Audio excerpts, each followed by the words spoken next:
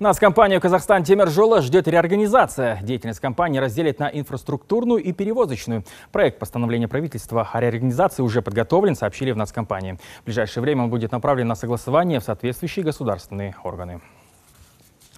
Между тем, партию рельс для национального перевозчика готовит Актюбинский рельсобалочный завод, который не имеет аналогов в стране.